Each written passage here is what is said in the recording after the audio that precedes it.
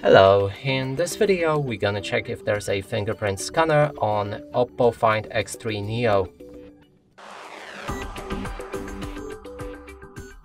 And to do this we'll need to open our settings, then locate the security tab. There might be the biometrics as well, but no, there's passwords and security. And here's the fingerprint, which already confirms that this device does have it.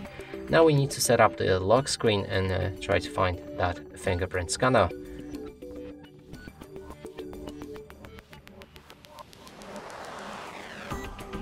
And here you can find the fingerprint scanner on the bottom of our screen. And that's it for this video, hope you like it, please consider subscribing to our channel, leave a like and a comment below.